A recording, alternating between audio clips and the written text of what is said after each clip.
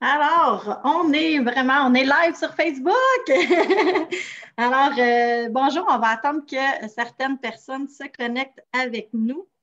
Euh, si ça ici, donc, on ajuste des petites choses pour être certaine que tout fonctionne. Et on va commencer dans un instant.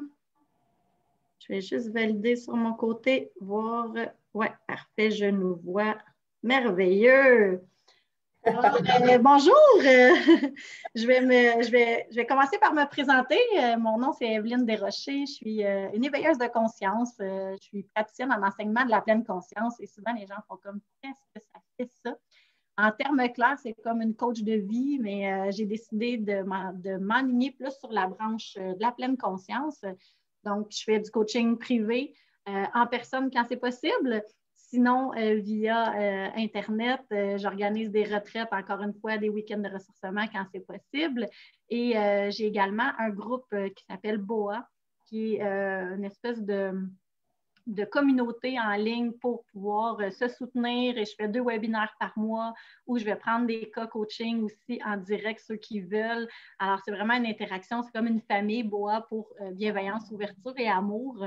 Donc, euh, c'est une belle communauté qu'on est en train de se bâtir. Mais euh, voilà, aujourd'hui, euh, j'ai décidé d'inviter ma, belle amie Diane, qui est psychologue, et on s'est rencontrés dans une retraite justement de sept jours de pleine conscience avec notre ami François Lemay. Et j'avais envie d'aujourd'hui de parler de comment elle voit ça par son ordre professionnel, par sa profession, mais aussi euh, personnellement, comment elle peut euh, appliquer la pleine conscience dans son quotidien. Alors, je vous la laisse euh, vous se présenter à vous. Donc, bonjour Diane! Oui, bonjour, bonjour Evelyne, contente et je te remercie beaucoup pour cette invitation-là qui me fait très plaisir. Je me présente, je suis Diane Mercier. en fait, mère de quatre beaux grands-enfants maintenant rendus adultes, c'est souvent ça que je, je un bel accomplissement dans ma vie et bien, psychologue également depuis 1992, euh, donc euh, près d'une trentaine d'années où je pratique auprès des enfants, une spécialité que je suis allée chercher à l'Université de Trois-Rivières euh, de 0 à 18 ans. Et vous savez que quand on travaille avec les enfants, on travaille toujours avec les parents. Donc, avec les années, à chaque année, je suis allée me chercher des formations pour davantage être équipée et pouvoir aider les parents de, ces enfants pour qu'ils deviennent les meilleurs modèles, dans le fond, des enfants que je côtoie. Et avec les années également, euh, ben, très, très rapidement, j'ai euh, ben, été appelée par euh, toutes les personnes qui travaillent, qui, pas travaillent, mais qui ont vécu des actes criminels dans leur vie. Ça, ça a été une, un appel que, que j'ai ressenti de pouvoir aider. J'avais le goût d'aider ces gens-là. Donc, euh, les vétérans qui viennent de l'armée ou des gens, des gens qui ont un accident d'automobile puis qui perdent un enfant ou une jambe ou un œil, ou comment leur vie est chamboulée d'une fraction de seconde, hein, parce qu'un accident, c'est tellement vite, ou les agressions sexuelles, les viols, etc., les, les, voies de fait. Euh, ce sont des situations de 0,99 ans. je pourrais dire que, que l'être humain me fascine et euh, c'est ce que j'ai fait. Autre, chose, bien, en, situation de, notre beau petit COVID que je vais appeler, là, qui est depuis le mois de mars. Mais ça fait longtemps que je voulais me réinventer. Donc, j'ai créé un groupe euh, et euh, un groupe qui s'appelle Conseil de psy pour parents, où est-ce que j'offre mon expertise. Plutôt que d'écrire à mon âge, souvent les gens vont écrire des livres pour euh, donner leur leur expérience. Puis moi, j'avais le goût de me mettre euh, un peu plus à jour avec les médias, avec tout ce qu'on connaît. Puis j'ai un collègue, euh, Ismaël, qui travaille avec moi pour tout euh, mettre ça en place et, avoir créé ça. Et dans ce groupe-là, ben, les gens me posent des questions, puis j'écris des articles pour les informer, dans le fond, des, des connaissances, partager les connaissances que j'ai. C'est d'ailleurs super intéressant comme groupe. Moi, j'en fais partie. Puis en tant que maman, c'est sûr, mais en tant qu'être humain aussi, je trouve ça très pertinent ce que tu apportes. Puis c'est un groupe qui est gratuit, qui est, vraiment d'une générosité sans borne. Tu es quand même très impliqué, je trouve, dans ce, dans ce groupe-là. Puis ça m'impressionne à quel point tu peux aider euh, tellement de gens. Ça, c'est une belle gratitude. merci beaucoup d'avoir. Euh, d'avoir euh, conçu ça. Puis on va, on va vous mettre sous la vidéo là, euh, le lien, ceux qui veulent, euh, ceux qui voudraient joindre le groupe de Diane, c'est super pertinent. Diane, je voulais juste prendre un instant, comme on est là sur Facebook, je veux dire bonjour à Jean-Michel qui est avec nous, qui avait fait notre retraite aussi. Michel Guévin, bonjour à vous deux. Cathy Blais est là, Sylvie Gagnon, Isabelle Manceau, José Denis, Pierre Côté, José Daigle. José Denis, bonjour à vous deux. José Denis aussi, qu'on connaît bien. Isabelle Lessard, qui est une autre collègue aussi. Euh, et euh, Yvon Guylaine aussi. Donc, euh, merci d'être là, tout le monde. C'est super intéressant. On ne savait pas trop en faisant ça un mercredi à 13h si on était pour avoir des gens en direct. très heureuse de, voir que vous êtes là avec nous aujourd'hui. Donc, c'est vraiment une entrevue en toute simplicité. J'avais envie de voir avec Diane que comment c'est arrivé un peu la pleine conscience? Parce que, bon, on a tendance à voir que, bon, il y a les psychologues et il y a les gens plus en pleine conscience. Et moi, je trouve ça magnifique de marier les deux. Fait quand j'ai vu Diane, je ne sais pas, Diane, si tu te rappelles, quand, on s'est vu à la retraite, je t'ai dit, c'est tellement le fun qu'il y ait une psychologue avec nous autres parce que moi, je trouve ça génial qu'on puisse, euh, je dirais, euh, euh, je veux pas, je, je, vais dire, c'est vraiment pas pour insulter personne, mais, mais on dirait que c'est comme de mettre au goût du jour la, psychologie, tu sais, je me dis, waouh, ils ont tellement un bagage, vous avez tellement euh, de formation, vous êtes, vous êtes un bagage incroyable d'outils, mais je pense que de plus en plus, on se rend compte qu'il faut aussi ajouter euh, peut-être d'autres choses pour aller chercher les gens, puis peut-être faire changer aussi la perception des gens face à, aller voir un psychologue, hein, parce que je ne sais pas comment tu le vois en pratique, mais mais moi, je me rappelle qu'il y a même à peine 20 ans, aller voir un psychologue, c'était hyper tabou. Euh, les gens nous catégorisaient, on, était des fous, on était des gens qui, avaient un problème et tout ça. Tandis qu'aujourd'hui, heureusement, on est beaucoup plus enclin à aller chercher de l'aide et c'est rendu, ben oui, tu es un psychologue, ben parfait, tu n'es pas obligé d'avoir un problème pour aller voir un psychologue. C'est le fun d'avoir quelqu'un qui nous soutient, qui nous aide au quotidien aussi. Je trouve ça beau, il y a beaucoup d'évolution. Et là, que toi, tu amènes la pleine conscience là-dedans, honnêtement, je trouve ça tout à fait merveilleux. Ah, tant mieux, tant mieux, c'est ça. Et euh, je me souviens quand même, il y a 30 ans, euh, tu as tout à fait raison, hein, à l'époque, c'était du, du 1 à 1 et puis euh, avec une certaine distance également avec notre client, comme s'il ne fallait pas, fallait pas parler de nous non plus mais comme on parlait un petit peu dès le début, je suis un petit peu rebelle dans, dans, mes, dans ma façon de travailler où est-ce que j'ai toujours sorti du, sentier pour aller voir ce qui se passait à l'extérieur. Je pense que c'est ce qui fait que les connaissances se sont accumulées avec les années et le gros bon sens, dans le fond, qui m'amène à, m'ouvrir et, à partager également plein de connaissances à mes clients euh, en disant Oh, tu as essayé ça, tu as essayé ça, tu as essayé ça. Euh, puis, on n'a pas besoin d'avoir des études universitaires dans chacun des domaines, euh, acupuncture ou autre chose, pour pouvoir aller les essayer. Si ça nous va, si ça nous va, puis c'est ça qui, qui, qui, fait en sorte que tu es bien dans, dans ton, euh, à l'intérieur de toi parce que tu as, confiance en cette technique-là, go, vas-y. L'objectif, c'est quoi? C'est d'être bien dans cette vie-là. Hein? C'est de trouver notre, notre remède à nous. Parfois, le remède, c'est d'aller faire de la bicyclette. Parfois, le remède, c'est de, transférer une Prozac avec euh, des Adidas, peut-être, hein, des sneakers plutôt que. Je veux dire, tout est possible. j'aime ça. À chaque client que j'ai, je me dis, OK, qu'est-ce qui t'a amené, toi, dans cette spirale de performance hein, qu'on connaît très bien? Mais on n'est pas né comme ça. Je ne sais pas combien de fois que je le dis aux gens depuis tout le temps. On ne naît pas anxieux, on ne n'est pas dépressif. Et on n'est pas obligé de mourir comme ça non plus, hein, Diane, ça c'est super important. Les gens pensent que moi je suis anxieux ou je suis comme ça. Attends, attends, attends, attends. On est capable de changer, on est capable de se guérir, on est capable. Donc, ça aussi, c'est important de dire aux gens, c'est pas parce que tu as été diagnostiqué TDAH, diagnostiqué bipolaire, diagnostiqué telle chose attends, on n'est pas brisé, là, la gang, on peut, vraiment aller travailler ça et se sentir beaucoup mieux. Et d'ailleurs, c'est ce qu'on fait, toi et moi, dans la vie de façon différente, aider les gens à se sentir mieux et avoir des outils aussi pour pouvoir passer au travers certains challenges de vie. Mm-hmm. Tu dis, euh, on le fait de façon différente. Moi, je te dirais qu'on a juste des outils qui sont différents. Mais l'être, tu la même que moi Tu es mm. celle qui est une passionnée de vouloir faire grandir une personne qui vient vers toi parce qu'elle ne se sent pas bien. Si elle cogne à ta porte, c'est parce qu'elle a besoin de ta fraîcheur, de tes connaissances, de ton énergie. De... On attire, hein, toute est énergie. on ne se le cachera pas, puis c'est pas moi qui l'ai inventé, puis c'est pas toi, c'est l'énergie quantique, puis c'est des scientifiques. on s'est entendu que tout est de l'énergie. Quand les gens viennent, je dis c'est parce que tu as besoin de l'énergie de Diane, puis mets-toi en action parce que Diane, elle a de l'action. Je m'attends tout le temps que la semaine suivante, ils aient marché un pas de plus, puis un autre pas de plus, puis un autre, à leur rythme, un pas à la fois. La vie, c'est un pas à la fois. Puis juste pour revenir dans ce qu'on se disait tout à l'heure, vu qu'on ne naît pas avec tous ces symptômes-là, on, on y a eu un chemin, un sillon qu'on a fait pour rentrer dans la tornade ou dans le sillon de la performance l'anxiété parce que, et bien souvent, qu'on le veuille ou qu'on ne veuille pas, un de nos parents ont été anxieux ou ont eu des signes dépressifs ou est arrivé à des situations comme ça. Et compte tenu que nous, comme petit enfant, on est en train d'apprendre, ben, on embarque dans cette, euh, cette roue-là, puis on le regarde, puis eux, ils nous tracent le sillon de comment on est quand on est anxieux.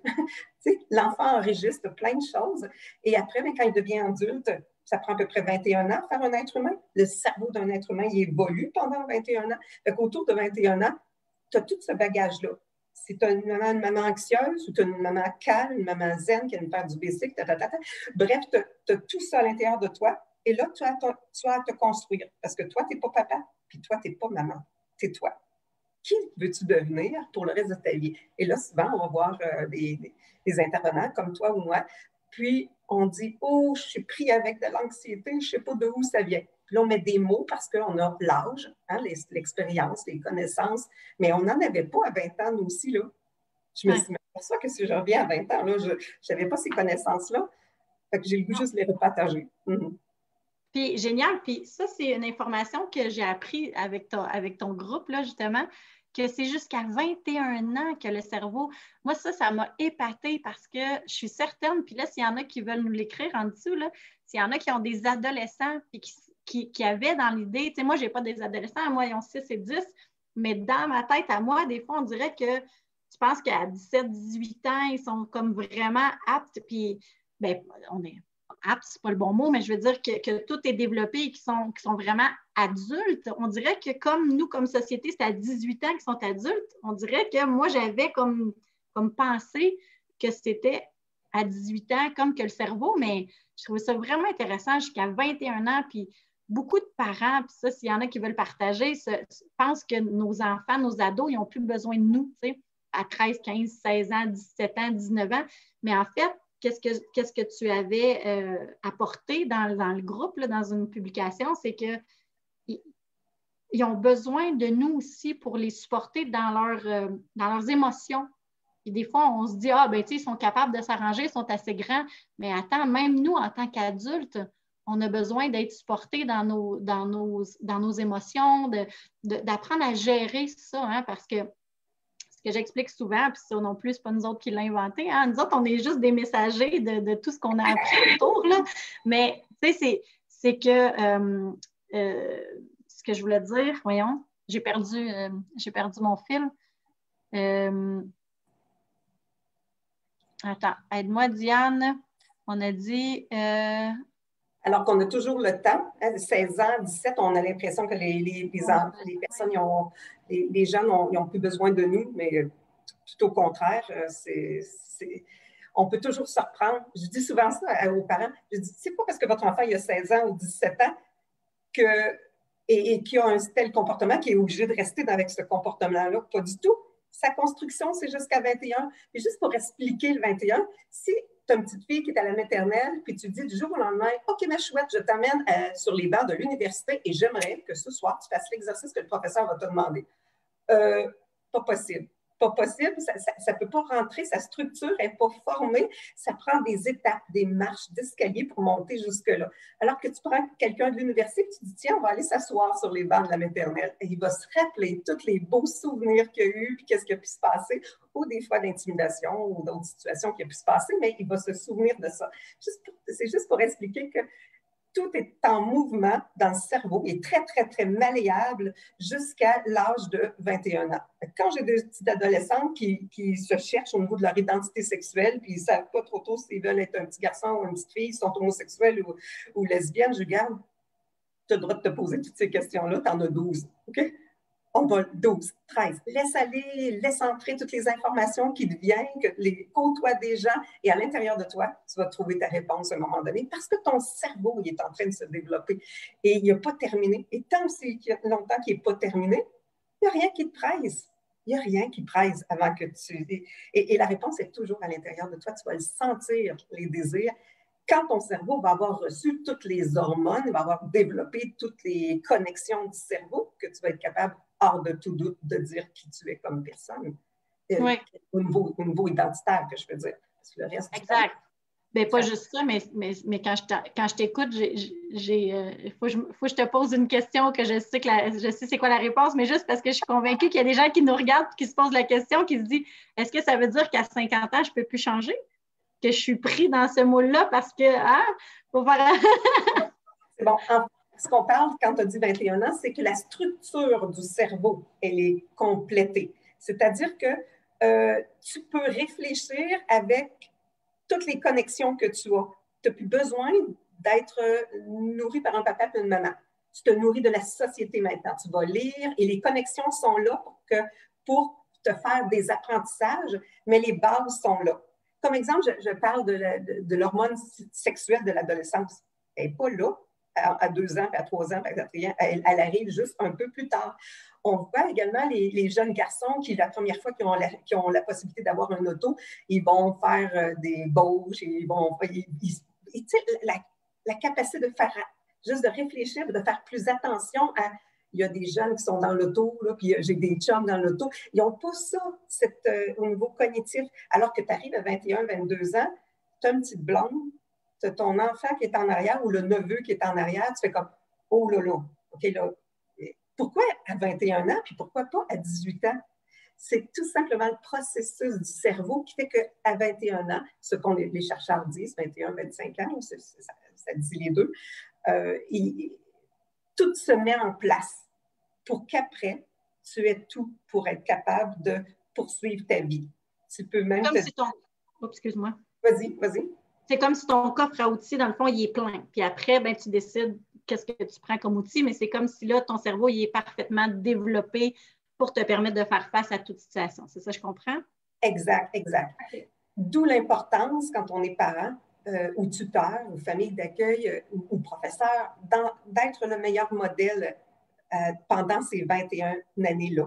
Parce que l'enfant regarde par ses cinq sens, il entend, il, voit, il sent, il goûte, il ressent toutes les sensations que son parent ou l'adulte qui est bienveillant, qui est autour de lui, vit. à 21 ans, si tu as eu un papa alcoolique, ou tu as eu une maman qui criait tout le temps, ou une maman anxieuse, tu as aussi ça, ces connexions-là à l'intérieur de toi. Tu as tout ça, mais tu n'es pas maman et tu n'es pas papa. Donc, qui veux-tu devenir? Et là, tu as toutes les bases avec deux modèles qui ont fait le meilleur qu'ils pouvaient avec ce qu'ils avaient. Parce que c'est vraiment pas une question de juger les parents, parce qu'il faudrait juger les, grands-parents, il faudrait juger les arrière-grands-parents, parce qu'eux aussi ont donné les mêmes choses. On, s'entend qu'on ne va pas dans ce domaine-là? On fait comme maintenant, tu as tout le stock. Ton cerveau est complet, tu es capable de m'entendre, tu es capable de comprendre, tu es capable de lire, tu es capable de faire des liens. Que feras-tu avec le cadeau qu'on t'a donné depuis les premières années de ta vie?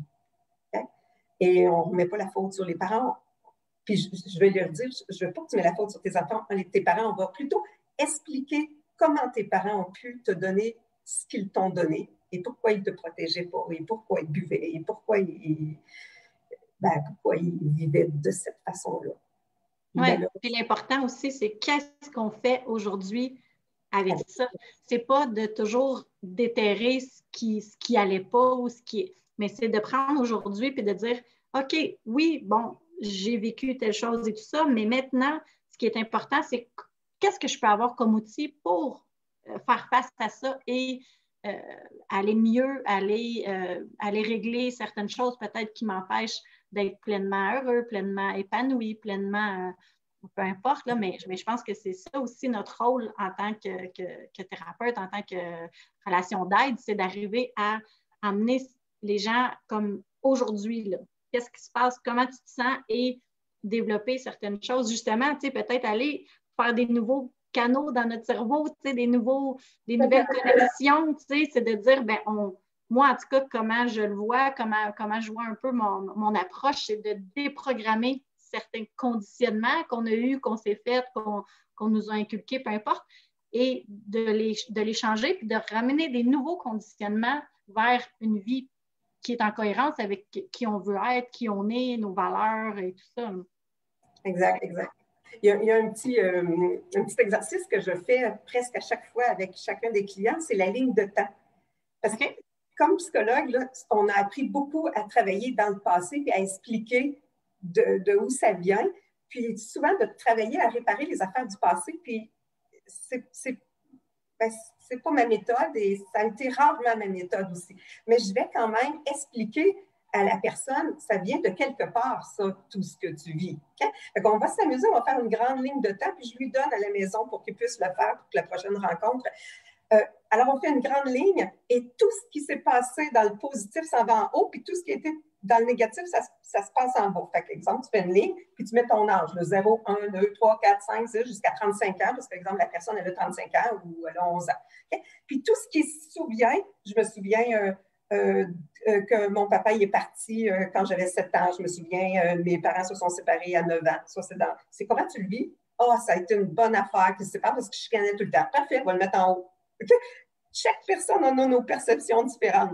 Mon chien est mort, mon grand-père a eu le cancer, je l'aimais gros, je l'ai. Alors, on met tout ça.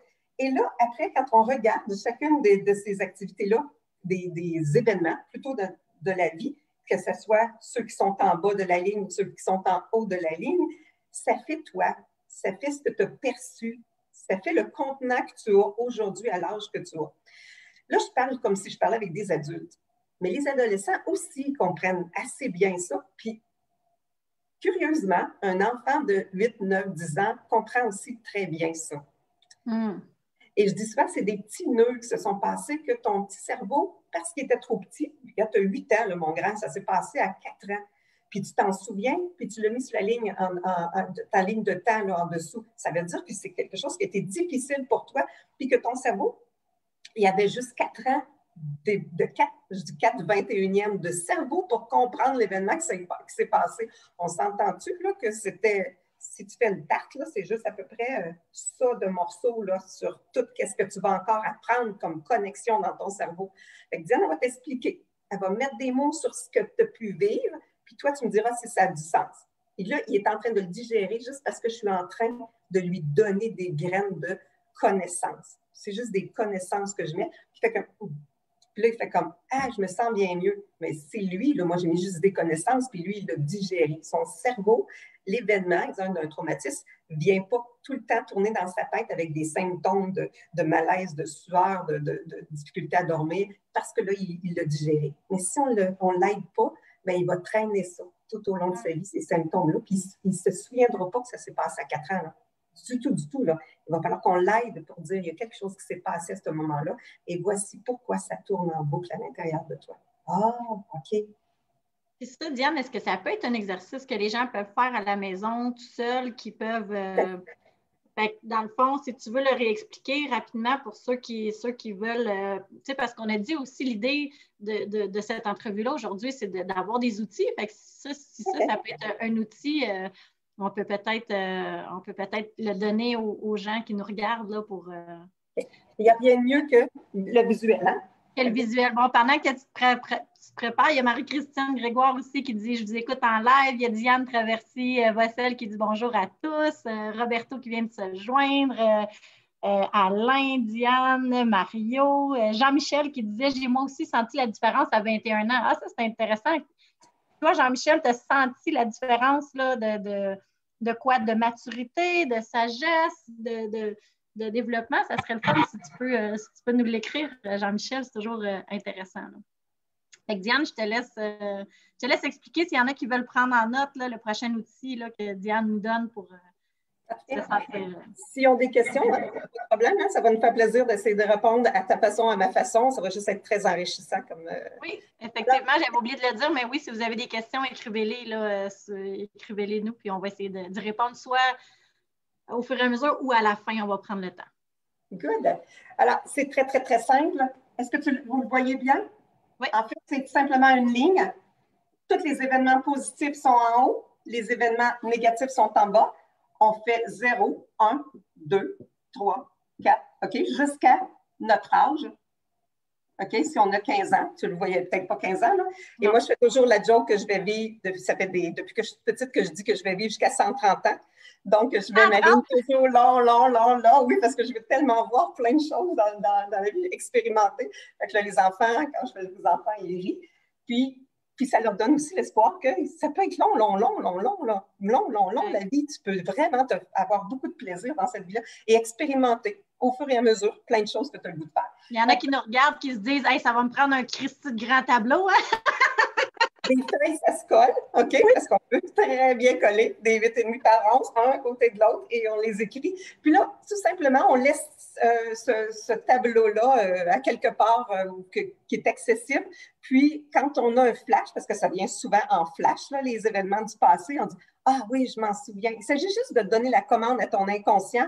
Fais-moi sortir les événements qui ont été plus difficiles pour moi, puis fais-moi les, les, les, événements qui ont été plus hot aussi pour moi. OK? Fait que là, il, bon, exemple, je me souviens à 4 ans, euh, euh, mon oncle est parti en Papousie. OK? J'avais beaucoup aimé parce qu'il y avait eu une fête, mais je me souviens que j'étais très triste parce que je ne l'avais pas vu. Fait que je peux mettre ici la tristesse. Pendant 10 ans, il est parti missionnaire. tu sais, je, raconte une histoire qui était comme ça.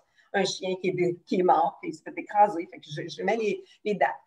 Ça peut être une grand-mère. Euh, puis, tous les événements ne sont pas tous pas digérés, mais il y en a quelques-uns que quand tu vas écrire, quand on va l'écrire à quelque part à 5 ans, tu fais comme Ouh, celle-là, là, j'ai l'impression que j'ai encore un moton. Alors, celui-là, quand tu vas avoir fait tout ce tableau-là, que tu dis, ah, je pense que j'ai vraiment euh, pas mal mis euh, les, gros points positifs que je me souviens, je suis allée à la ronde, et ceux qui m'ont euh, plus perturbé. Je ne demande pas de les regarder tout de suite, là. je fais juste de les écrire. Ah, je me suis fait agresser à cet âge-là. Ah, ma maison le passe au feu à cet âge-là. OK? Juste ça, là. Et après ça, dans un autre cahier de vie, un beau cahier euh, que, que, tu, que tu choisis juste pour toi. Alors, tu vas prendre le temps de regarder ce que ça te fait comme feeling. Les cinq sens, on enregistre toutes les informations quand on est jeune avec les cinq sens. Les cinq sens. Les enfants enregistrent tout, tout ce qu'ils voient, ce qu'ils sentent, ce qu'ils, goûtent. Alors, simplement mettre le feu de ma maison qu'est-ce que je me souviens que j'ai vu? Qu'est-ce que je me souviens, ce que j'ai entendu? Moi, j'ai passé au feu quand j'avais quatre ans et je vois encore dans ma tête le feu de ma maison. Et j'entends ma mère qui dit euh, Les enfants, c'est quand même grave, un feu, mais l'important, c'est que vous êtes toutes là. OK? Et je sens ma mère qui nous sert toutes les trois, parce qu'il y avait trois enfants sur cinq d'arriver. OK? Fait que je sens kinesthésiquement ma mère qui me sert. J'entends dans ma voix ma mère qui me dit c'est que c'est grave. On n'a plus de maison, on n'a plus rien, on n'a plus de nourriture, on n'a plus de vêtements, on n'a plus rien. Mais papa est en train de courir. Regardez, papa est en train de courir autour de la maison pour regarder ce qu'il est capable d'économiser, de, ramasser, mais il n'y avait plus rien. La c'est tellement à terre, c'est une vieille maison. Donc, euh, euh, j'ai vu, j'ai encore, et on enregistre et on le garde tout le temps pour le reste de notre vie. Mais les émotions négatives, après qu'on ait fait cet exercice-là de dire, bon, cet événement de feu-là, qu'est-ce qui me reste? Compte tenu qu'on est rendu, moi j'ai 55, là, mais quand on fait l'exercice, on a 35 ou on a 40, entre moi et toi, notre cerveau, il a fait pas mal plus de connexions que quand on avait 4 ans. Donc, on est capable maintenant de le digérer. Je dis souvent ça, digérer. Sinon, ça tourne en boucle. Une agression va tourner en boucle. Un événement traumatisant va tourner en boucle jusqu'à temps que le parent soit capable de donner des réponses ou que l'adulte, parent, puisse apaiser, l'enfant en soi qui a vécu les expériences. Et la vie continue comme ça, on les digère et la vie, elle est pleine d'expériences. Il va, avoir, il va avoir des ups, puis il va avoir des downs, il va avoir des ups, puis il va avoir des downs, il va avoir des ups et des downs. Ici, là, c'est bien le fun, on surfe sur le positif, hein, mais c'est ici qu'on apprend le plus. C'est dans nos épreuves qu'on apprend le plus. Mais il ne faut pas rester dans nos épreuves pendant 50 ans avec plein de médication, puis après plein de stress. Aussitôt qu'on sent qu'on a une, problématique, quelque chose qui nous arrive, allons voir quelqu'un pour qu'il nous aide à remonter. OK? Il ne nous montrera peut-être pas, euh, je ne sais pas, c'est un accident d'automobile, c'est quelque chose, quand euh, ta femme à côté meurt. Ça ne sera plus jamais pareil, mais ça peut être différent et ça peut aussi être une deuxième vie dans ta même vie. Oups, je t'entends plus. Est-ce que tu m'entends? Est-ce que tu m'entends? Je ne t'entends plus. Je ne sais pas ce qui est arrivé.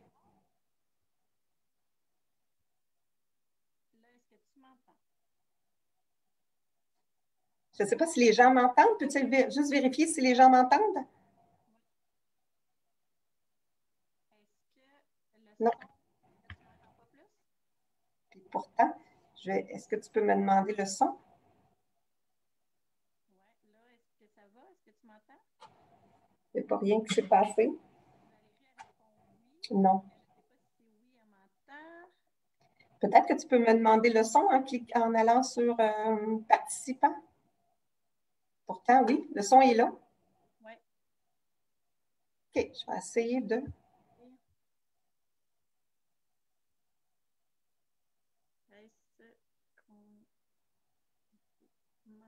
Demande aux gens s'ils m'entendent. Je t'entends. On entend seulement Diane. Son très bas pour Evelyne. OK? OK. OK, un petit peu. Ça, ça revient, Evelyne, non? Oui? Oui. Je ne sais pas ce qui s'est passé. Est-ce que les gens m'entendaient? Ils t'entendaient? On, on entendait toi, mais on n'entendait pas moi. Fait que là, je veux juste m'assurer, est-ce que là, le son est rétabli? Absolument. Absolument. OK, génial. Parce que nous, euh, nous pour, les gens qui nous écoutent, des fois, ce n'est pas évident parce que nous, on est sur la plateforme Zoom et on rediffuse sur Facebook. Fait qu'il y a un, il y a un délai. Fait quand on vous pose une question, des fois, c'est long avant que nous, on voit vos réponses, là, mais euh, c'est le volume qui est très bas. OK, là, c'est OK. Bon, ben, je pense qu'on a, euh, le, son est, rétabli. Là, euh, super. Fait que, est-ce que, je voulais juste te dire, Jean-Michel, il a répondu à notre question tantôt à 21 ans. Il a dit tout a changé à cet âge. déjà, donc, un petit peu, il, il a dit d'autres choses avant, je pense. Je me suis sentie, je me suis sentie complet à 21 ans. C'est ça qu'il disait euh, Jean-Michel. Diane Traversy, elle disait qu'elle, ça va y prendre un grand tableau. C'est notre doyenne. Hein? Euh, Michel Guévin qui dit Je me rappelle que tu me l'as déjà dit jusqu'à 130 ans. Fait que j'imagine que ça, s'adresse à toi, Diane. Tu dois déjà avoir dit à Michel euh, que tu voulais vivre jusqu'à 130 ans. Et Jean-Michel, lui, qui répond que lui, il, espère une belle vie jusqu'à 200 ans. On peut limiter 130 ans. Hein. Je ne sais pas pourquoi je me limite. Finalement, ça devrait être 200. je ne sais pas exactement. Euh, ça, ça, ça, je vais juste être sûre que, bon, le volume, merveilleux. OK, super. Fait que, euh, merci Diane pour cet exercice-là. Donc, l'exercice de, de, faire les bons et les moins bons moments de notre vie. Puis, comme elle disait, bien, si vous bloquez sur si vous bloquez sur un nœud, sur, euh, parce que moi, je pense que c'est comme un nœud énergétique. Hein? quand on bloque sur une situation, quand on bloque dans une émotion, ben, c'est important d'être capable de le transcender puis de le, de, dénouer ce nœud-là pour avoir une meilleure qualité de vie, se sentir mieux. oui, c'est important de demander de l'aide, que ça peut être, euh, des fois, ça peut être même l'aide de, gens juste autour de nous, mais si vous voulez voir des professionnels, c'est important de demander de l'aide parce que euh, si on ne sait pas que vous avez besoin d'aide, on ne peut pas vous aider, mais quand on sait que vous avez besoin d'aide, bien, des fois, c'est des, trucs, c'est des outils. Puis déjà, juste Diane, avec son groupe euh, gratuit de, conseils de psy, ça, je trouve ça fantastique. Euh, les gens posent des questions, surtout euh, euh, conseils pour parents, je pense, que c'est beaucoup axé sur les enfants et tout ça. Mais tu as dit quelque chose tantôt qui m'a vraiment interpellée, c'est que l'enfant intérieur aussi, même si on est un adulte, on a tous un enfant intérieur à l'intérieur de nous. Et souvent, c'est d'aller justement aller parler à cet enfant-là pour lui dire que c'est correct, puis que, tu sais, comme, comme tu expliquais, le cerveau, n'était pas développé comme aujourd'hui. Moi, j'ai 38 ans, mais si j'ai vécu un traumatisme à 5 ans ou euh, qu'on m'a dit que j'étais pas belle, qu'on m'a dit euh, que tu n'étais pas capable ou peu importe, mais ben, on peut aller dire à la, dans mon cas, la petite Evelyne de 5 ans, aller la prendre dans nos bras et dire Hey, c'est correct. Oui, tu es belle, oui, tu es capable. C'est pas parce qu'une personne, ou même dix, ou même 100 personnes t'ont dit ça, que tu es obligé d'acheter cette, parole-là, cet acte-là qui a été fait, qui a été commise. Donc, d'aller rassurer cet enfant-là pour le ramener dans l'âge actuel. Je ne sais pas si tu te sers de, cet outil-là avec tes clients. Là.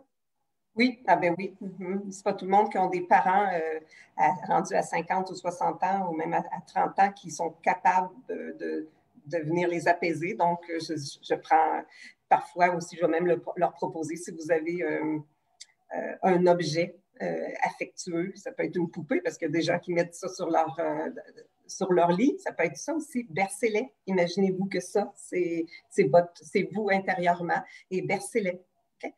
Euh, je vais juste revenir sur ça, c'est très, bon de, bercer pour euh, euh, aller porter l'affection qu'on aurait eu besoin à une vie. Mais souvenez-vous que quand on fait l'exercice des nœuds, souvenez-vous qu'un enfant enregistre toujours avec les cinq sens. Donc, dites-vous qu'est-ce que je me souviens, qu'est-ce que je vois, qu'est-ce que j'entends, qu'est-ce que, qu'est-ce que je me souviens de ce que j'ai goûté, comment, qu'est-ce qui s'est passé pour vraiment sortir, c'est la technique IMO, je sais pas si ou IMDR, je ne sais pas si tu as jamais entendu ça. Ah oui. Euh, c'est une technique qui permet de, de, défaire les nœuds, les gros, gros nœuds, et on passe toujours par les cinq sens. Parce que c'est comme ça qu'on enregistre quand on est petit, et c'est comme ça aussi comme adulte qu'on va comprendre euh, en, en, les, euh, en les mettant en des mots, en les rendant de l'inconscient au conscient on, est capable de, dire ah, OK, c'est ça qui a fait en sorte que j'ai commencé à me dire que je n'étais pas belle, que j'ai commencé à vendre mon corps ou que j'ai commencé à consommer de la drogue ou j'ai commencé. Euh, euh, bref, il y aurait tellement de choses à dire. oui, mais c'est intéressant parce que les cinq sens aussi, c'est ce qu'on utilise beaucoup aussi pour revenir dans l'instant présent, dans la pleine conscience. On se sert énormément des cinq sens. Ceux qui me suivent, vous le savez, je vous en parle tellement souvent de revenir des fois quand on, quand, ça, c'est un, truc super simple aussi que j'ai envie de vous donner, c'est des fois quand on se sent dépassé, que ce soit euh, de la peine, que ce soit du stress, de l'angoisse, euh, une panique, qui nous, de la colère et tout ça, c'est si on est capable à ce moment-là de, se ramener dans l'instant présent avec un de nos cinq sens, même pas besoin des cinq, mais juste un, dire OK, puis des fois, c'est juste de dire euh, OK, je vais, je vais, prendre un instant, je vais fermer, moi j'aime bien fermer mes yeux pour pouvoir accentuer les autres sens. Hein. Quand on coupe un sens, on accentue les autres. Donc, euh, je vais couper mes yeux, exemple, puis là, je vais me dire, OK, je vais juste porter mon attention sur les sons que j'entends autour de moi. Et, dès le moment que tu portes ton attention sur un sens, bien, automatiquement, ton focus est rendu là. Donc, tu es moins dans ton stress, ton angoisse, ton anxiété, ta peur, ta, colère et tout ça, mais tu t'en viens dans l'instant présent et automatiquement, ton, ton esprit se calme, ton, corps se calme, ta respiration commence à prendre plus d'amplitude. On peut juste dire comment je respire présentement. Puis là, on va voir que quand on est stressé, quand on est nerveux, tout ça, on respire vite. Puis là, dire Oh, attends une minute. OK, je respire vite. Mon Dieu, quand je respire vite, des fois, je suis peut-être étourdie. juste comme prendre possession de notre corps. On n'a pas appris ça. On n'a pas appris ça, à part que nos parents nous disaient respire par le nez. à part ça, on ne nous a pas appris. Mais déjà, ça, c'est un bon truc. Si on fait juste respirer par le nez, juste être conscient que l'air rentre dans notre nez, sort par nos narines ou par notre bouche, déjà là, on va aller abaisser le niveau de stress, de tension, d'angoisse, d'émotion. Donc, ça, c'est un truc super simple. Moi, j'aime ça, faire ça avec mes enfants. Des fois, quand vous voyez que les enfants sont agités, qu'il y a quelque chose ou que moi, je suis en train de, de monter dans mon émotion, mais là, je vais dire, OK, on regarde tout ce qui est rouge, souvent en voiture. Là, c'est comme, euh, OK, le premier qui voit la lettre A, tu sais. Fait que là, ils sont concentrés là-dessus. Ils arrêtent de chicaner. Fait que là, on dit, qu'est-ce qui est rouge? Fait que là, on dit, OK, t'as la t'as la t'as la On vient de désamorcer ce qu'il y avait. C'est vrai. C'est vrai, c'est vrai. Tu vois, ça, ça, me fait rappeler tellement de souvenirs que ma mère devait être une psychologue elle-même, euh, femme au foyer, mais euh, tellement bonne. Quand on allait en vacances, elle disait tout le temps OK, euh, ça va être quoi la prochaine couleur de l'auto? Là, on concentrait, puis on fermait nos yeux, on dit la prochaine, ça va être une bleue. Fait que là, celle qui gagnait, c'est celle qui avait la bonne couleur euh, de la prochaine auto qui nous dépassait, exemple. Mais toujours, OK, on compte sur le pont, on compte les. Euh, les jonctions. Oui, les jonctions. on, avait, on arrêtait, on, on, comptait les jonctions jusqu'à temps qu'on était rendu de l'autre côté. Bref, il y a toutes sortes de façons de revenir dans le moment présent. Euh, adulte comme enfant, c'est vraiment ça. Puis honnêtement, en tant qu'adulte, je vous souhaite tous d'être dans votre cœur d'enfant le plus souvent possible, de revenir dans cette innocence-là, dans, ce, dans cet épanouissement-là, dans cette joie-là, dans, dans cet instant présent-là. C'est ça que les enfants nous apprennent souvent. Si vous avez de la difficulté à arriver dans les moments présents, assoyez-vous par terre avec des enfants. Louez-en s'il faut. en temps de pandémie, c'est un peu plus dur d'aller euh, avec, avec ceux qui n'ont pas d'enfants, d'aller avec d'autres enfants, mais quand vous pouvez le faire, c'est d'aller vous asseoir par terre avec des enfants. Vous allez voir à quel point eux, ils sont tellement dans le moment présent, ils vont regarder ce qui se passe, ils vont être pleinement dans ça. Et ça, ça nous enseigne énormément. On pense que c'est nous qui, qui élevons les enfants, mais souvent les enfants nous élèvent pas mal plus qu'on pense. Euh, c'est vraiment un bel échange, tu sais, comme n'importe quoi dans la vie, la co-création, c'est super important. Mm-hmm. Tu sais pourquoi, Evelyne, les, enfants euh, sont justement si spontanés, dans le moment présent. OK, je vais juste expliquer une autre affaire. Entre quand on est, notre cerveau a euh, un petit cervelet, OK? Et au niveau du cervelet, c'est là où est-ce que toutes les émotions euh, s'expriment. Alors, quand tu as faim, tu vas crier, euh, tu vas avoir mal à ton ventre, ton corps, il va, il va exprimer la joie, la, la peine, la, colère, etc. Et le parent qui voit ces signes-là puis qui est capable de les décortiquer va venir apaiser son enfant en lui donnant de la nourriture ou en le prenant, ou s'il a froid, il mettant une couverture, etc. Et à chaque fois qu'il apaise son enfant, il y a un lien, une connexion qui s'envoie à notre cerveau supérieur? Qui est le lobe frontal ici, c'est celui qui réfléchit.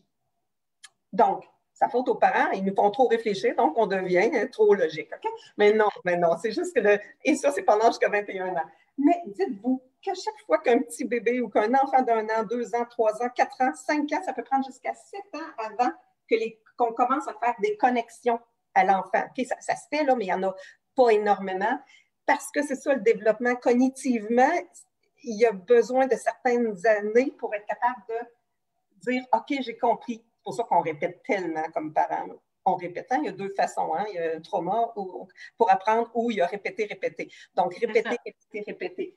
Et si on n'apaise pas notre enfant, euh, je pas, exemple, il y a un gros chien, puis il est tout seul, puis il est là pendant longtemps, longtemps, puis il est tout seul, il n'y a pas personne qui l'apaise, puis il a, il a peur va tellement avoir peur qu'il va peut-être s'endormir de fatigue, mais l'émotion, elle va rester là, elle, parce qu'elle n'a pas été apaisée. Donc, à chaque fois qu'il va voir des chiens, il va avoir des phobies de chiens.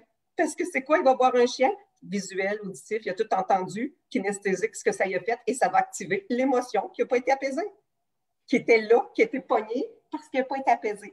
Donc, quand un enfant crie, pleure ou il est en colère, soyez-vous comme adulte. Vous savez, vous autres, dans votre cerveau, je vous le dis là, prenez juste le temps de vous arrêter puis d'apaiser, dit maman est là ou papa est là. On est là, puis on va être là. On va toujours rester avec toi. Euh, un cauchemar, vous les prenez. Et à un moment donné, l'enfant, il fait comme il s'apaise. Et dites-vous qu'à chaque fois qu'il fait comme il est en train de faire une connexion à son cerveau, il va dire OK, la permanence, je sais que maintenant, je peux me laisser aller, puis je sais qu'il y a quelqu'un qui va venir m'apaiser. Wow, c'est super intéressant ça parce que moi, tu sais, on est dans. J'ai été élevée dans, la génération de garde pas trop tes enfants, puis laisse-les pleurer, puis il faut qu'ils apprennent, puis tout ça. Et là, je me rends compte que j'ai une petite fille de 6 ans que des fois, je la laisse gérer sa crise, mais je fais comme, oh, elle n'est peut-être pas encore assez outillée pour la gérer, cette crise-là. Dites-vous qu'à chaque fois que vous apaisez un enfant, que vous lui mettez des informations, ben, que vous, vous arrêtez pour l'aider à l'apaiser, vous êtes en train de mettre des petites graines dans son cerveau qui fait en sorte que son, que son lobe frontal, le, cerveau supérieur, sait qu'il sait. Et c'est comme ça que l'estime de soi et la confiance en soi se bâtit. C'est quand lui sait qu'il sait. Mais si on y fait tout à sa place, puis on y donne tout à sa place, puis qu'on fait, là, on donne pas, pas de règles, parce que moi, j'ai eu assez de règles quand j'étais jeune que ça ne me tente pas d'en mettre des règles à mes enfants, puis je ne veux, veux pas les faire travailler trop jeunes. Mais non, amusez-vous à faire des tâches avec eux autres. Ils vont faire des connexions de comment on fait pour balayer, comment on fait pour faire le ménage, comment Allez-y avec lui.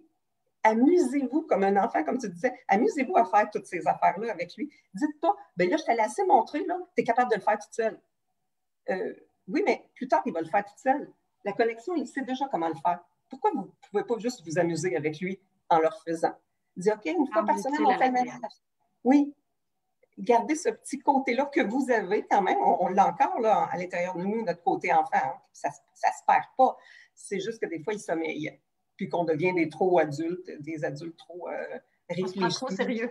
Oui, c'est ça, on contrôle, euh, on s'autocritique, on se culpabilise quand on fait quelque chose de pas correct avec notre enfant. Mais non, lui, il n'a même pas besoin d'avoir un parent parfait. Il a juste besoin d'avoir un modèle, un phare, un guide qui, sur lequel il peut copier un modèle. Un modèle parmi tant d'autres qu'il va rencontrer dans sa vie. Là. On n'est pas l'exclusif, mais on est les deux premiers modèles les plus importants des premières années de vie de, Pour l'enfant, oui. Hmm. Euh, je vais juste prendre un instant. Diane, Michel Guévin qui dit merci de votre partage. Vous êtes très inspirante. Merci. Jean-Michel qui dit Je témoigne que c'est lors de Focus avec François que j'ai compris une expérience difficile que j'ai vécue à l'âge de 9 ans. Ah, génial, parce qu'on a pris le temps aussi justement d'aller voir ces événements-là. Euh, Diane qui dit J'ai déjà fait cette technique EMDR avec ma psy il y a des années de ça. Euh, moi, je faisais des mots avec les plaques automobiles. Oui, nous autres aussi, on fait ça avec les filles euh, maintenant parce que mes filles, ils ont appris à lire. Fait que oui, effectivement, la première lettre de la plaque, là, on dit tous les mots jusqu'à temps qu'on voit une autre plaque d'auto. Des fois, c'est plein de, jeux comme ça. Jean-Michel qui dit Je l'ai fait avec ma fille, j'ai continué encore bien qu'elle soit adulte. Oui, effectivement, c'est pas parce qu'on a plus que 21 ans qu'on n'est pas. Euh, c'est comme je disais tantôt, même adulte, on a aussi besoin de, de, se sentir euh, écouté, se sentir euh, supporté, tout ça. D'où le pourquoi aussi que, je, suggère d'avoir quelqu'un. évidemment, c'est mieux. Quand on peut se le permettre, c'est sûr que c'est mieux de se payer un professionnel parce que bon, il y a peut-être plus d'outils, euh, peut-être il n'y a pas le côté euh, euh, pas sentimental, mais il n'est pas engagé émotionnellement avec toi, donc il est capable d'avoir une, vue plus externe, plus, je cherche mon mot, mais... avec une certaine distanciation émotionnelle. Oui, mais il y a un, en tout cas, j'avais un, il y a un mot, là, mais je, je, je c'est pas grave, vous comprenez avec du recul qu'il y a une certaine. Euh, et, ouais, c'est pas ça, mais c'est pas grave. J'ai le mot, là, mais il ne veut pas sortir. Mais euh, c'est d'avoir quelqu'un qui est. Ah, c'est de l'impartial, c'est ça, il est impartial, donc il n'est pas, pas connecté, donc il peut avoir plus de. de, de, de... Oui, c'est ça il est empathique, il est capable de comprendre, de saisir qu'est-ce qui est en train de se passer, mais il n'est pas sympathique à toi à prendre ta cause et à te sentir, à se sentir mal parce que tu vis comme ça. Non, non, j'entends ce que tu es en train de me dire, je, le sens, je sais que ça, ça et, tu continues. Effectivement, un professionnel, ça a cette, euh, euh, une amie, mais si cette amie-là est juste empathique, capable de comprendre et, qu'elle a des connaissances pour pouvoir t'éveiller sur d'autres avenues que tu peux prendre, c'est merveilleux, là, aussi. Oui, on a des gens autour, hein, des fois, qui, sont juste là pour. Euh, moi, je dis tout le temps, des éveilleurs de conscience, il y en a partout. Des fois, c'est juste une petite phrase ou une chose que la personne va dire, puis tu vas faire ah, Oh mon Dieu, j'avais pas vu ça de même, ou j'avais pas. Tu sais, juste de, de, verbaliser comment on se sent, c'est déjà en soi, c'est déjà beaucoup. Déjà, si vous avez personne à qui le dire, mais que vous le dites à haute voix, ça fait déjà un travail. Si vous pouvez le dire à quelqu'un, c'est comme si on enlevait un peu de la charge qu'on a sur nos épaules, qu'on a énergétiquement, juste en, osant partager comment on se sent. Ça fait aussi un bout de chemin. C'est important de, pouvoir partager euh, et de pouvoir mettre un, mot, de, des mots sur euh, les émotions parce que c'est drôle, je ne sais pas pour vous autres, vous pouvez peut-être le dire dans les commentaires, mais moi, c'est si je me rappelle, là, les 25 premières années de ma vie à peu près, on ne m'a pas appris beaucoup de synonymes, beaucoup de, variables dans les émotions. Hein. C'était es-tu fâché, es-tu en colère, es-tu triste, es-tu joyeux? Mais on n'a pas mis de, toute la palette des, des émotions. Fait même encore aujourd'hui, à 38 ans, quand je fais l'exercice, je me dis, attends une minute, j'ai sûrement un autre, puis, ma fille, elle a, eu un suivi justement euh, avec un thérapeute, puis elle a donné une grille des émotions, puis je l'ai sur le réfrigérateur, puis tu sais, des fois, c'est de le faire avec les enfants, de dire, oh, Oh, OK, est-ce que tu te sens, euh, tu sais, ça peut être différent. Est-ce que c'est reconnaissante? Est-ce que c'est euh, enjoué? Est-ce que c'est d'autres mots que les quatre, cinq de base? Tu sais, aller voir un peu plus loin. Quand je me sens mal, moi, mais c'est quoi de sentir mal? Est-ce que tu te sens coupable? Est-ce que tu te sens. C'est quoi qui monte? Est-ce que c'est de l'insatisfaction? Est-ce que c'est. Des fois, c'est de se poser des questions. Puis c'est pour ça aussi que quand on discute avec quelqu'un, un professionnel, c'est que l'autre est capable de te poser les questions pour te faire réfléchir. Moi, en tout cas, je ne connais pas nécessairement ton approche, Diane, mais je suis pas mal sûre que ça s'approche de ça. C'est que souvent, on va poser des questions pour que la personne elle-même réponde. C'est souvent beaucoup plus euh, payant pour la personne que ça vienne de elle plutôt que de dire ben moi, je pense que tu penses comme ça ou que tu as ça comme émotion.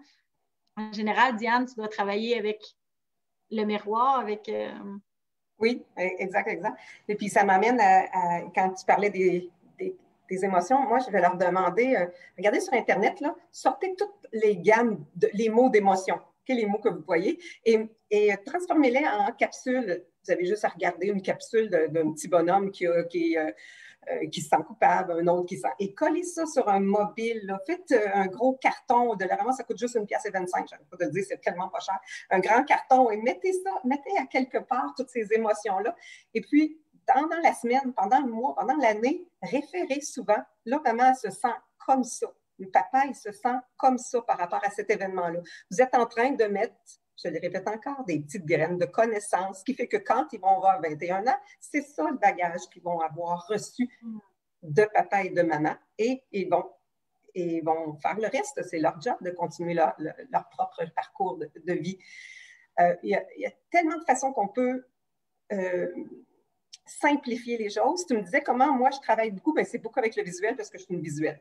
Donc, j'ai mon grand tableau dans mon bureau où je vais faire des dessins, je vais faire la ligne de temps. Je veux que les gens le voient, l'entendent aussi, puis le ressentent également. Comme ça, si je touche les, cinq sens, euh, bon, je n'offre pas de café dans mon bureau, là, parce que j'en bois pas, mais je pourrais bien pour qu'ils puissent euh, sentir cette, cette, bonne odeur-là, qui fait que l'information que je viens de leur donner rentre dans, une, dans, dans un événement de, dans une bienveillance, dans le fond, avec, avec énormément d'amour. C'est comme ça qu'on euh, devient. Et, tu vois, je, parle beaucoup avec un langage très simple parce que c'est quand on est jeune, c'est comme même si on est adulte, les apprentissages ça prend comme quand on était enfant. Donc, c'est très, très rare que je vais prendre des, des, euh, des mots extrêmement complexes parce que ça n'a jamais été utile pour moi pendant 30 ans pour expliquer un phénomène. Je me souviens quand j'étais jeune, moi, une des façons pour sortir ma colère, mes parents étaient agriculteurs, donc j'ai resté, je suis très, très proche de la nature. Et mon père allait corder du bois ou fender du bois. Ben moi, quand j'étais en colère, j'allais placer du bois. Je faisais des cordes de bois euh, toute la journée de temps. Puis à chaque bûche, c'était quelqu'un. C'est pas quelqu'un, parce que j'en ai eu trop, là, mais souvent c'était la même. OK? Fait que ça, faisait sortir ma colère, tout simplement. On n'est pas obligé de la garocher sur quelqu'un. L'important, c'est de la sortir, puis de l'exprimer, puis de dire tout ce qu'on a à dire par rapport à cette personne. Fait qu'aller aller faire du kayak, marcher sur le bord de la rivière, parler tout haut, s'il n'y a pas trop de monde, puis ne pose pas trop de questions, mais c'est une bonne façon de tout simplement sortir notre colère. Euh, oui, puis de, changer aussi le, le, mood, l'état dans lequel on est aussi. Moi, ce que je suggère souvent à mes clients, c'est un autre outil qu'on peut vous donner, c'est de quand ça va bien, quand on est, peu importe, on va faire une liste de tout ce qu'on aime faire, tout ce qui nous fait du bien. Mm. Et, et ça parce que quand on est dans une émotion moins bonne, qu'on est en plus basse vibration, qu'on ne sait pas trop que ça ne va pas bien, on, dirait qu'on perd des fois nos repères. Donc là, c'est le fun d'avoir des repères, de dire, moi, qu'est-ce que j'aime faire? Qu'est-ce qui me fait du bien? Est-ce que c'est prendre un bain, prendre une marche, euh, écouter euh, tel genre de musique, euh, écouter une capsule audio, vidéo de telle personne que j'aime suivre, peu importe. Et là, tu te fais une belle liste que, évidemment, tu essaies de laisser justement encore une fois à la vue pour que quand tu en as besoin, que tu dises OK, mais je peux faire ça, ça, ça, ça, ça, ça, ça. On dirait que ça, déjà, juste en sachant que tu as plein de, moyens de te sortir de l'état actuel, ça fait déjà un travail. Mais si en plus tu dis, je vais en prendre un là-dedans puis je vais le faire, bien, automatiquement, tu es capable de changer ton émotion en une fraction de seconde. Personnellement, moi, la musique m'aide énormément. Et si je, sens que je vais, je vais pas bien, peu importe, par exemple, il y a une situation qui peut me fâcher, je vais mettre, j'ai une playlist Good Vibe, euh, Good Feelings dans, mon téléphone et je mets n'importe quelle de cette chanson-là en une seconde, j'écoute la première note, puis je suis comme déjà, ouais, j'ai goût de danser puis de chanter. Boum, on vient de tout désamorcer encore une fois l'émotion qui était là, qui nous empêchait d'avancer. Donc, on n'a pas besoin de faire des grandes choses. Je le dis souvent à, mes, à mes clients, c'est des petites choses qui peuvent faire des grands changements. Des fois, on pense que euh, ça prend une grosse thérapie, que ça prend beaucoup de temps, que ça va prendre euh, des gros exercices et tout ça, mais attends, avec des petites choses simples, on peut vraiment se sentir mieux au quotidien. Là, ça, c'est important de, le savoir, de le comprendre, puis d'appliquer des petites choses, je pense. J'appelle ça des ancrages. Qu'est-ce que tu as fait? tu as trouvé ce que tu avais besoin pour switcher vers l'énergie qui est positive, euh, la fréquence, augmenter ta fréquence. Parce que, tu sais, les gens qui, ont des idées noires, euh, qui ont tendance à vouloir, euh, ben, tendance, mais qui ont des pensées suicidaires, sont dans une basse fréquence si on leur permet, lors d'une rencontre, d'aller toucher à quelque chose qu'ils aiment, d'éveiller chez eux quelque chose qui les passionnait avant et qu'ils ont comme oublié de faire et leur donner ce petit devoir-là, de dire, OK, cette semaine, je veux que tu apprennes cette toune-là parce que tu adorerais ça, et j'aimerais ça que tu me la joues la semaine prochaine quand on va se revoir.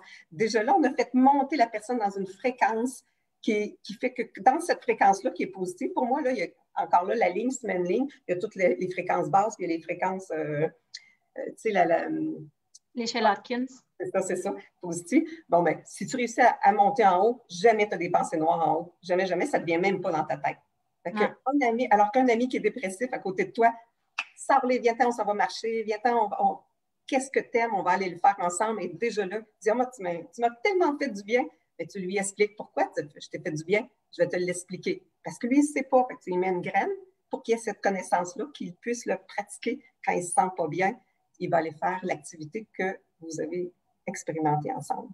Oui, effectivement. Jean-Michel dit oui, la musique est une thérapie très efficace que j'utilise depuis très jeune. Ouais.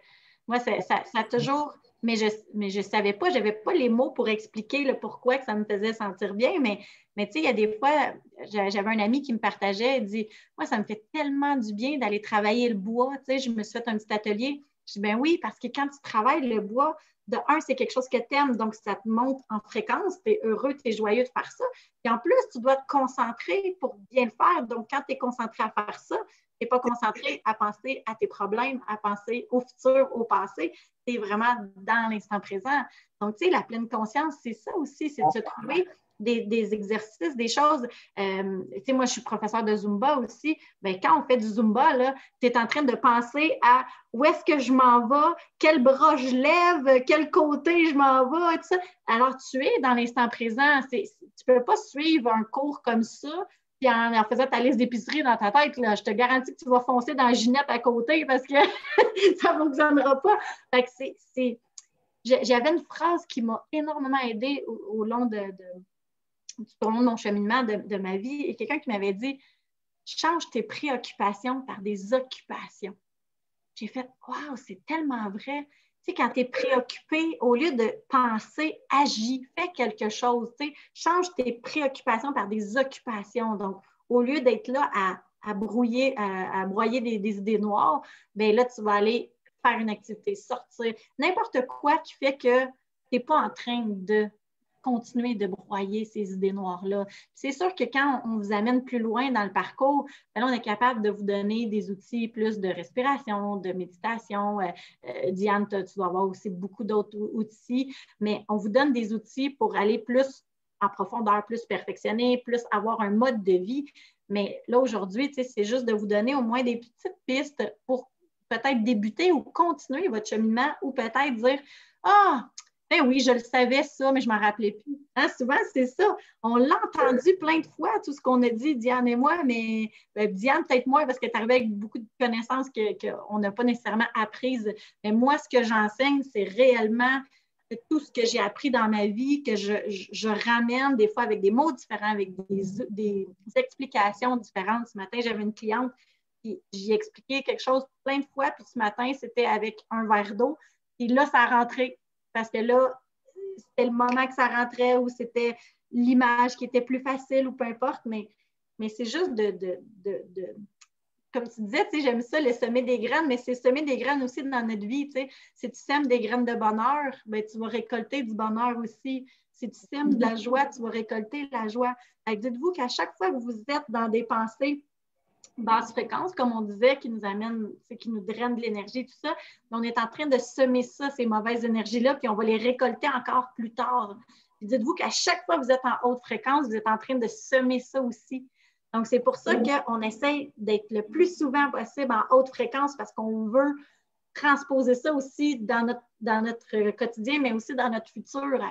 On est comme des cultivateurs. On sème des graines, mais c'est ce qu'on va récolter. Fait que si tu sèmes de la peur, du doute, d'angoisse, d'anxiété, tu risques probablement d'en récolter plus tard. Donc, c'est important aussi, c'est ça, de comprendre comment notre cerveau fonctionne, comment notre système fonctionne, comment notre esprit, tout ça. Donc, c'est vraiment. Euh, en fait, on est deux passionnés, Diane et moi, on pourrait vous parler pendant huit heures de temps sans arrêt.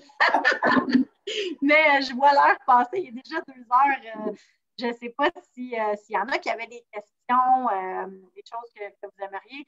Et, je le répète, Diane, euh, Diane ou moi, là, on va mettre le, lien pour son groupe euh, Facebook qui s'appelle exactement, c'est Conseils de psy. Conseils de psy pour parents. Exact. Et, je ne sais pas si tu as un site Internet aussi, tu pourras le mettre. Et de mon côté, je vais le mettre aussi. N'hésitez pas à, nous écrire. je pense qu'on est deux âmes très, très généreuses. Puis en ces temps aussi, euh, personnellement, je suis extrêmement euh, touchée avec la pandémie qu'on vit, une détresse psychologique euh, intense. Et on est là, on, donne du gratuit toutes les deux, chacun de notre côté, parce qu'on on, est vraiment passionné puis on a envie réellement de faire une différence. Puis on change le monde, gagne un humain à la fois. C'est vraiment quand nous, on change. Je pense que c'est Gandhi qui disait si tu veux voir un changement dans le monde, soit le changement mais c'est ça, c'est nous-mêmes, si on apprend à se sentir mieux, bien, par nos actions, on va inspirer nos enfants, nos amis, nos parents, nos collègues à eux aussi faire la même chose, se sentir mieux. Et c'est comme ça qu'on peut engendrer un mouvement euh, de, bonheur, de bien-être beaucoup plus, beaucoup plus grand et qui est contagieux. On peut être contagieux de la bonne façon aussi. Hein? Exact. Écoute, Evelyne, si à un moment donné tu as le goût encore, on pourrait regarder tous les impacts psychologiques. Moi, je te lance l'invitation. Si tu as le goût, tous les impacts psychologiques chez les enfants et les adolescents de ce qui nous arrive depuis le mois de mars passé. Et comment on va faire? Pour être capable de récupérer tout ça et comment on peut faire dans le quotidien pour récupérer ça et même à la fin également, parce qu'on sait qu'il y a des gens plus vulnérables qui ont été affectés davantage que d'autres enfants. Puis on pourra regarder ça ensemble et essayer de répondre aux questions des gens qui. Euh, avec grand plaisir, on pourra, on pourra procéder ça dans les prochaines semaines euh, avec plaisir. Euh, c'est toujours super intéressant. Moi, je ferai des entrevues comme ça avec toi tous les jours. Why not? Pourquoi pas? On pourrait s'amuser. Si les gens ont un intérêt, moi, ça me fait, ça me fait plaisir. C'est un peu une bonne façon de redonner. Hein? mon groupe, c'en est un, là, mais j'écris. Puis souvent, les parents, quand c'est trop euh, privé, personnel, puis qu'ils ont de la difficulté à, écrire euh, parce qu'ils ne veulent pas s'identifier au problème, ils ne veulent pas que leurs, enfants soient identifiés, s'en vont sur Messenger en privé. Et mm-hmm. mon Messenger, puis là, ben, je, je, me mets en salon avec eux, là, en puis là, je discute avec eux, puis je dénoue le nœud. C'est toujours une question de dénouer un petit nœud, puis après, on s'en va, on continue notre chemin. Il y a tellement de choses que tu sais que moi, je peux savoir ce qu'on pourrait donner comme truc aux gens. Bien, si on a un intérêt, ça me fait plaisir de, le faire avec toi. Ah, génial. Bien, je pense que s'il y en a qui, s'il y en a qui ont de l'intérêt, vous pouvez l'écrire en dessous du vidéo. Ça nous, ça nous dira là, si, euh, si déjà ceux qui ont écouté aujourd'hui ont envie de nous réécouter encore. Puis on pourra, on pourra le partager aussi à d'autres personnes. Alors, euh, Sylvie Gagnon qui dit euh, Jean-Michel, dit deux anges, deux anges passionnés, ah, c'est cute. Jean-Michel, le mouvement, euh, comme dans la danse, l'accompagne aussi. Sylvie Gagnon qui dit merci à vous deux, c'était bien intéressant, mais merci à toi d'avoir été là. Michel Guévin, vous êtes deux merveilleux forts, emplis de bienveillance. Merci, Michel. Merci, Michel. C'est vraiment super plaisant de, pouvoir euh, échanger aussi avec vous autres quand vous êtes live avec nous. C'est le fun de pouvoir avoir euh, vos, commentaires, vos questions et tout ça. Alors, un grand merci, Diane, pour ton temps. Je sais que, tu es une femme occupée aussi. Puis, euh, merci, merci beaucoup de, tout cœur. C'était un réel plaisir. Puis oui, on, remet ça très prochainement avec, avec grand plaisir. Isabelle Manceau qui dit merci à vous deux. Merci à toi, Isabelle, d'avoir été là. Et est-ce que ce texte, cette vidéo-là va être euh, rediffusée? Oui, en fait, ben, elle reste sur la page de EDC, sauf que c'est de la publicité sur Facebook. La, publication, euh, à un moment donné, ça s'en va. J'ai une chaîne YouTube euh, au nom d'Evelyne Desrochers et compagnie où euh, la vidéo va être en rediffusion là. Euh, Diane, si tu veux la mettre aussi sur ton groupe ou sur ta page, je vais te donner le lien. S'il y en a qui veulent la, voir, qu'on vous l'envoie, envoyez-moi un, message en privé ou, en dessous de la, vidéo. Dites-moi, j'aimerais avoir le lien. Je vais, le, je vais, je vais vous l'envoyer. Il va toujours rester, c'est enregistré. Ah non! Oui, c'est ça, je viens de partager. C'est ça, repartager les informations, nos connaissances. J'ai eu beaucoup de plaisir à travailler avec toi, à faire cette entrevue-là avec toi. Mais imagine si les gens ont apprécié et leur partagent sur leur groupe et euh, d'autres personnes euh, écoutent ça, ben, on va toucher beaucoup de personnes et on va faire un pas à la fois, faire grandir euh, les gens. Évidemment, ceux qui veulent partager, c'est gratuit, ça ne vous coûte rien, ça ne nous coûte rien, puis on fait juste propager des bonnes, des bonnes choses, bien évidemment qu'on peut, euh, on peut faire une différence aussi. Vous pouvez faire une différence, évidemment, c'est sûr, en partageant euh, ces informations-là. Alors, un gros merci. Passez une excellente euh, fin de journée. On se revoit très bientôt. Bye bye.